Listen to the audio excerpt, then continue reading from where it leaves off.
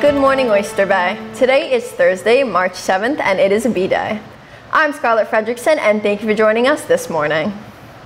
A huge congratulations to Maddie Matthews and Afa Ureshko for their second place finish at the Middle School Long Island and Engineering Fair on Tuesday. They placed second in the Behavioral Sciences category with their work on facial features bias.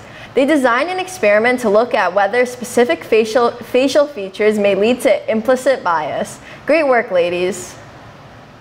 March is Women's History Month. To celebrate the contributions of women in our history, the 7th and 8th grade Student Council, Be the Change Club, and the ML Advisory will be selling Rosie the Riveter bandanas. We will be wearing these bandanas on March 8th, 15th, and 22nd. Each bandana is $3. Please see Ms. S., Mr. Andratio, Mr. Brown, or Ms. Sanborn if you have any questions. Are you interested in playing on the boys tennis team this spring? Registration is now open. Registration now on Family ID and reach out to Mr. Geiger. There will be an informational meeting for students interested in playing golf for the upcoming spring season today in room 101 directly after school. Please see Mr. Roars with any questions. Chicago the Musical is tomorrow night.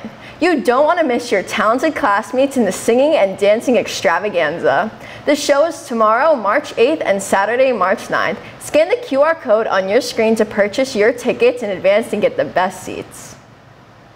Attention all yearbook staff. Please come to a yearbook meeting after school on Monday, March 11th after school. Please make every effort to come. Birthday Wishes Club will be having a general meeting today after school in room 220. Students in grades 7 through 12 are welcome. We hope to see you there.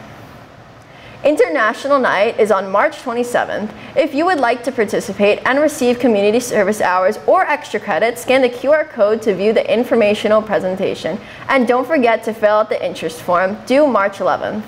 And remember, if you're a part of the International Club or World Language Honor Society, participation is mandatory. And now a quick look at your weather on this Thursday morning.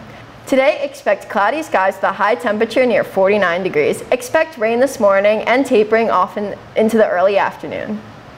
That's your news this morning. Have a great day, Oyster Bay.